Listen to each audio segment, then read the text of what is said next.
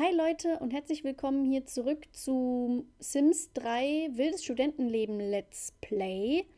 Ja, ich habe den letzten Tag übersprungen, beziehungsweise ich habe den Part aufgenommen und im Schnitt dann gemerkt, der Part ist echt langweilig. Also es war halt einfach ein stinknormaler Wochentag, da ist nichts groß passiert und dann habe ich auch noch vergessen, einen Screenshot zu machen für die Thumbnails und dann dachte ich mir, mh, hm, dann bleibt es einfach mal weg und ich glaube, wir können, obwohl es ist ja auch, es ist ja jetzt Mittwoch. Das heißt, in zwei Tagen sind dann die Abschlussprüfungen und dann ist nur noch Samstag und Sonntag, glaube ich. Und dann geht es schon zurück zu ähm, zurück nach Hause, weil dann das erste Semester vorbei ist. Und ich denke, ich werde die Zeit, ich weiß nicht, vielleicht könnt ihr mir ja beschreiben, ob ihr gerne wollt, ob ihr wollt, dass ich die Zeit, die die beiden, das werden zwei, drei Tage vielleicht sein, die sie bei ihren Eltern verbringen, bei ihrer Familie verbringen. Soll ich die aufnehmen oder soll ich die einfach so spielen? Das könnt ihr mir mal unbedingt sagen, weil ich denke, ach, ich weiß nicht, was ich machen soll. Deshalb, Gott, das sieht so ekelhaft aus hier, alles ganz dreckig. Da muss die Putzfrau dann wirklich mal ran und arbeiten. Und das ist ein echt cooles Bild geworden hier. Vielleicht kann Emma mal, wenn sie hier gerade ähm, durchschnittliche Anstrengungen. Hm, ja, ist okay. Dann soll sie nämlich nach dieser Vorlesung mal hier zum Verwaltungszentrum gehen und nach einem Straßenkunstauftrag fragen. Oh, und ähm, Kim, du solltest vielleicht auch mal lieber in die Uni gehen. Ähm, nicht, dass du hier noch Hallo, wie wär's mal mit in die Uni gehen? Komisches Mädel. Ähm, ja, jetzt musst du dich aber hier beeilen. Nicht, dass du noch. Nicht, dass du noch zu spät zur Uni kommst. Deshalb mache ich da mal gleich ein Foto von. Auch wenn das jetzt gerade nicht so das schönste Bild ist. Vielleicht, vielleicht gibt es noch ein schöneres. Ja, das ist doch ganz okay hier. Dann mache ich das mal eben so. Ähm, ja, die mit. das sieht echt lustig aus hier. Die, ähm, ich glaube, das ist Margaret Cade. Aber ich bin mir immer noch nicht ganz sicher, weil denn ich habe wieder ein paar Tage lang nicht gespielt und ich habe natürlich die meisten Namen wieder vergessen. So, dann mache ich hier mal einen Screenshot, damit ich auf jeden Fall einen habe. So, und das ist Candy Mallis. Ach Mist. Na gut, ein Versuch was wert. gut. Ähm, dann geht es jetzt weiter hier. Ja, du musst nämlich unbedingt hart arbeiten, denn sie soll nicht schon wieder die Prüfungen verhauen. Das wäre so ärgerlich. Da muss sie mal vielleicht auch ein bisschen hier mit ihren mit ihrer mobilen Radiostation sich mal da so ein bisschen auseinandersetzen. Vielleicht nach der zweiten Vorlesung. Oh, ihr Handy ist auch kaputt. Das soll sie dann mal nach den Vorlesungen reparieren und dann am besten nochmal ein Video streamen und ja, sonst geht sie ja, ja eigentlich ganz gut soweit. Dann beschleunige ich das hier mal und gehe mal hier so ein bisschen näher ran. Jupp, denn das ist jetzt nicht das Allerspannendste hier anzusehen, wie die alle in der Uni sind, die beiden. Oh ja, jetzt ist sie schon gestresst. Das heißt, das wird kein so großer Spaß. Perfekt. So, wo ist jetzt Kim? Hier auf dieser Seite. Das Handy ist repariert. Super. Sie möchte Troy Francis einen Liebesbrief schreiben und ihre Athletikfähigkeit verbessern. Wie sieht es denn damit aus? Das dauert wahrscheinlich noch ein bisschen. Gewinne Miles als besten Freund eine wunderbare Party veranstalten und mit dem Schreiben eines Buches beginnen. Ja, dann entfernen wir doch mal die Party und schreiben dann dem lieben Troy einen Brief. Und dann geht es auch schon bald los zum nächsten Blog für Kim.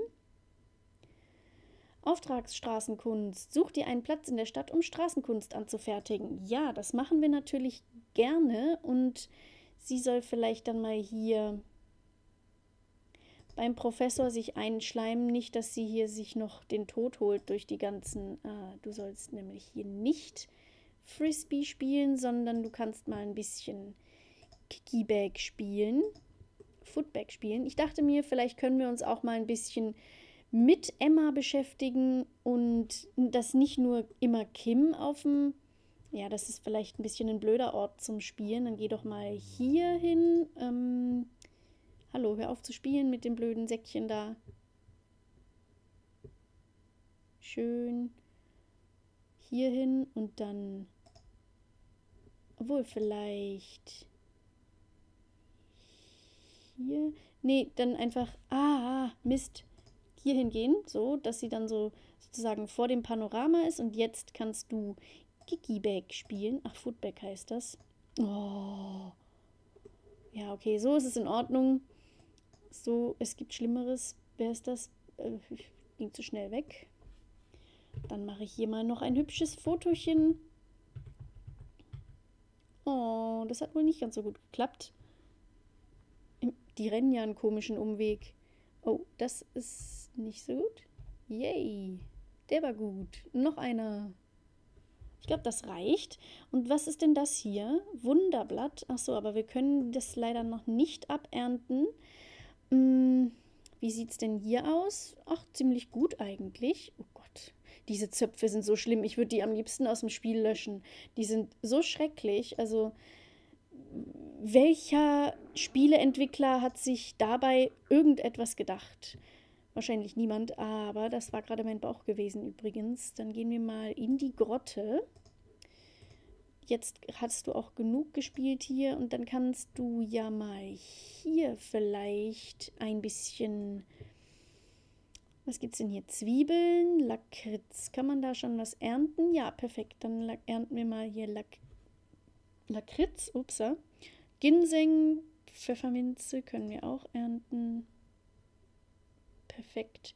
Oh, und sie hat auch ein bisschen Hunger. Dann sollte sie vielleicht mal hier Kablonk essen. Ähm, hier, sie hat noch Lakritz, denn sie kann ja auch mal ein Essen verfeinern. Und da gibt es ja, die verschiedenen Ge Kräuter haben ja verschiedene Eigenschaften. Also wenn man zum Beispiel Pfefferminze isst, oder ins Essen macht, dann gibt es hier ein Moodlet. Ähm, das ist dieser frische Pfefferminzatem, wie wenn man sich die Zähne putzt. Und dadurch werden soziale Kontakte besser aufge schneller aufgebaut. Und ich glaube, bei Basilikum wird man schneller befördert bei der Arbeit. Vielleicht könnten wir das hier. Gibt es hier Basilikum? Das wäre vielleicht ganz, ganz praktisch. Was ist denn Ar Arctostaphylos patula? Okay. Ähm, ja, Basilikum wäre vielleicht ganz praktisch für Kim, wenn sie das nächste Mal in die Prüfung geht oder bevor sie in die Prüfung geht am besten, dass sie hier noch so ein bisschen besser wird. Beim Professor Einschleim klappt ganz gut soweit. Vielleicht noch vier Stunden ist sie gestresst, dann kann sie ja mal einfach noch mal hart arbeiten, denn ähm, daheim kann sie sich ja dann entspannen. Oh Gott, sie ist so müde. Ja, sie sind leider gest gestern erst um 2 Uhr ins Bett gekommen, beide. Emma ist auch sehr müde. Das ist nicht gut. Sie bräuchte auch einen Kaffee wahrscheinlich. Dann macht am besten Kim. Danach mh, hm, geht sie nach Hause. Und dann geht sie erstmal aufs Klo vielleicht. Erstmal was essen diese Putzfrau, ne, die hat irgendwie, entweder hat sie so wahnsinnig viel zu tun oder sie ist einfach unfähig. Ach, das ist Musik, ich hatte mich gerade erschrocken. Ähm, Pilzomelett kann sie ja da mal essen. Dann vielleicht einen, ja, so ein, so so ein Kaffee mit Schuss trinken. Heißgetränke servieren. Äh, oder hier vielleicht mal, oh, Chai, weiße Schokolade, Banane mit Extraschaum. Das hört sich doch lecker an. Und danach muss sie mal unbedingt hier aufs Klo und dann braucht sie unbedingt Spaß. Wie, wie bekommt sie denn gut Spaß? Einfach vielleicht mal ein bisschen Fernsehen danach. So. Und die gute Emma ist jetzt hier. Du sollst den Apfelbaum nicht abernten. Ah, okay, jetzt ist sie hier am Weiterernten. Oh ja, jetzt ähm, ja, ernte noch schnell das Süßgras ab, dann isst noch schnell so einen Kablonk und dann geht's ab in die Uni wieder. Oh, mein Bauch, ey, der ist heute echt laut. Ah, das ist doof. Okay, gut. Dann, ähm, ja, geht das hier weiter. Warum will Emma jetzt auf einmal die Schreibenfähigkeit lernen? Oh, Die Fähigkeit wäre, ähm, die Fähigkeit sage ich, die Pflanze wäre vielleicht auch nochmal ganz gut, denn. Oh, das war wohl ein leckerer Schokoriegel, wie sie sich auf den Bauch gedingselt hat. Das ist echt süß. Dann mache ich hiervon mal auch noch ein Foto. Das ist so ein bisschen so. Die Ökotante Emma oder so. Nein, nicht Ökotante, aber Rebellin, die die Kräuter gerne mag. So, so ist das schon viel besser. So, perfekt. Oh, das ist echt ein hübsches Bild. Da sieht sie gerade sehr glücklich aus drauf. So, und dann, ähm, ja, dann gehst du mal gleich besser in die Uni. Wann geht's los? In einer Stunde. Ja, dann solltest du dich jetzt beeilen. Ernte schneller. Komm schon. Gibt es nicht auch so eine Herausforderung, dass sie dann schneller abernten können, wenn sie irgendwie eine bestimmte Menge. Emma kann jetzt ungewöhnliche Samen aussäen. Level 5 hat sie erreicht. Okay. Cool, cool. Jeffrey Dean hat Kim Tissot zu einer bevorstehenden Lagerfeuerparty eingeladen. Ähm, ich nehme es mal an, wir müssen ja nicht unbedingt hingehen. Wahrscheinlich wird daraus nicht ganz so viel, weil Kim ja super müde ist. Und ich mache mal hier die Musik wieder ähm, leiser. Denn das ist ja wieder super laut hier. So, jetzt genieße deinen Chai. Ja, von wegen alles erledigt. Hier. Du brauchst auch nicht die Betten zu machen, sondern du sollst lieber den Kack da ausräumen, den dreckigen Kram dann machst du das eben. Verdorbenes Essen ausräumen. Am besten bevor du aufs Klo gehst. Mm, ja. Dann das Klo benutzen und.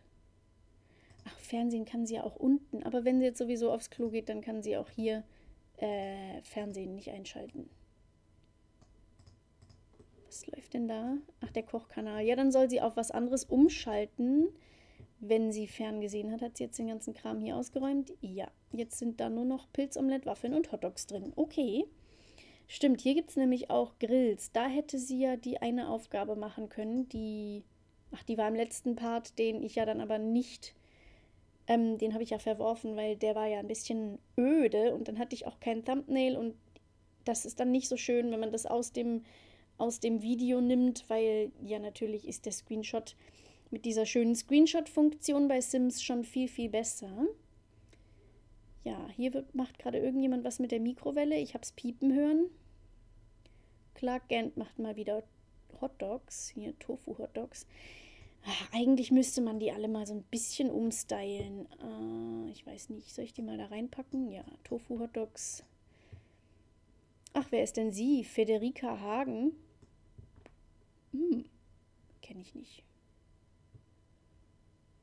Okay. Ist die irgendwie eine neue Mitbewohnerin? Ah, jetzt setzt sich der gute Clark hier zu uns und ich schalte mal hier um. Das wollte ich ja unbedingt auf Sportuniversum. Das macht bestimmt viel mehr Spaß anzuschauen. Und ihr Sozialbedürfnis geht hoch, das ist auch perfekt. Und oh, oh, oh, oh, Emma muss ganz dringend aufs Klo. Dann machst du das mal hier aufs Klo gehen, dann duschen und dann sollte sie vielleicht einen Straßenkunstauftrag machen oder ja, erstmal einen Kaffee trinken. Ach nee, sie kann doch hier, hier, wo waren die? Sie kann doch einfach diese Bohnen essen. Das ist dann wie Kaffee, nur nicht mit Zeit verbraucht zum Trinken, sondern einfach gleich gegessen. Und dann soll sie mal. Hm, sie kann ja nur an Rabbit, äh, nur nicht an Rabbit Hole Gebäude, nur an nicht Rabbit Hole Gebäude sprühen oder sie macht ein Bodengemälde und sie wünscht sich ja sowieso fünf Bodengemälde zu machen. Deshalb geht sie mal vielleicht danach äh, Stillleben skizzieren. Ja, das können wir auch machen, gerne. Ähm, dann geht sie mal einfach hier ins Schwimmbad und sprüht dann. Äh, Gibt es hier überhaupt Platz für ein Bodengemälde? Ja, perfekt. Hier ist doch genug Platz. Da kann sie dann. Ähm, wo ist denn ihr Sprühsäckchen? Hier. Bodengemälde groß. Kommt hier hin. Perfekt. Ja, und Kim ist hier immer noch am Fernsehen. Ich glaube, ich beschleunige das mal ein bisschen. Oh Gott, sie ist sehr müde. Ähm Ach ja, jetzt geht's zur Party dann. Nee, ich sag denen ab. Anruf ignorieren, ja, an Party teilnehmen, nein, danke. Das macht jetzt keinen großen Unterschied, ob ich hier. Wir können ja einfach mal mit dem lieben.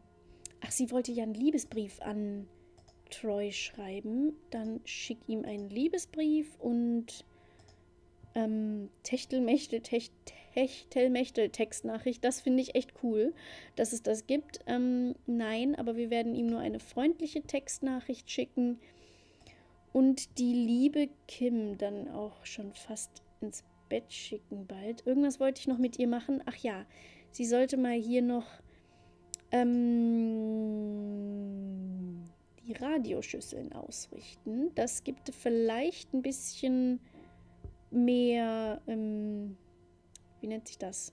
Ich habe vergessen, wie es heißt. Was, achso, sie schickt den Liebesbrief. Ja, gut. Oh, ein bisschen mehr Leistung hier. Genau, das wollte ich sagen. Und ja, hier ist alles supi. Ach, ups, das wollte ich doch gar nicht. Ich wollte doch hier zu Kim switchen. Oh ja, jetzt schreibt sie den Liebesbrief schön zwischen Tastatur und Computer auf dem Schreibtisch. Das ist schön. So, jetzt hat sie das getan. Dann kann sie doch mal hier den Schuljubelruf üben und Pilzomelett-Rezept lernen. Nö, das müssen wir nicht. Zwölf Freunde finden.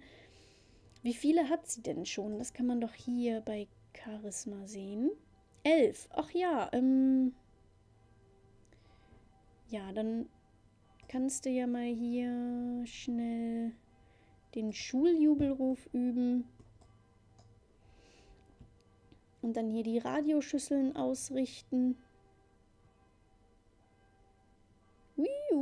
Das ist lustig, dieses, ähm, wie auch immer dieses Geräusch heißt. Energie passé. Ja, jetzt wird sie echt. Oh, ich glaube, sie fällt vor allem auch gleich in Ohnmacht. Dann soll sie lieber einfach mal ins Bett gehen. Oh, da hat es gerade laut gepiepst. Das war wohl der falsche Kanal oder die falsche Radiowelle oder was auch immer.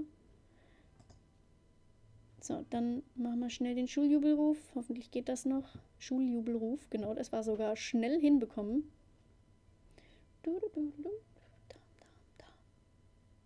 Gott, sie fällt gleich um wahrscheinlich. Kann sie jetzt auch auf dem Boden schlafen? Nee, jetzt geht es nämlich nicht mehr. Ist so komisch. Ich habe keine Ahnung, was das soll. So, dann zwölf Freunde finden, wen auch immer. Da suchen wir uns noch irgendeinen und machen am besten irgendwie nochmal eine Party. Vielleicht am Freitag nach der Abschlussprüfung, nach der ersten. Und ähm, ja, Emma ist hier am. Hä? Ach so, das ist diese Bohne mit dieser Wirkung. Genau. Kona hoch. Die geheimnisvolle Kona-Bohne hat bei Emma für einen echten Energieschub gesorgt. Sie hat das Gefühl, durch Wände laufen zu können. Ähm, durch Wände sollte sie vielleicht nicht unbedingt laufen, aber okay. So, dann mache ich hier mal noch ein Foto. Dann haben wir sozusagen Emma mal durch den, durch den Tag gefolgt. Kann man das so sagen?